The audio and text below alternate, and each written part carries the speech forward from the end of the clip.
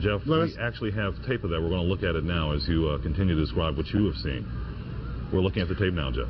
Okay, good. Uh, this once again happened only within the last few minutes. We saw one of those smaller buildings just fall to the ground. We had heard earlier that it was structurally unsafe, that the buildings surrounding the Twin Towers had not been safe, had been seriously damaged.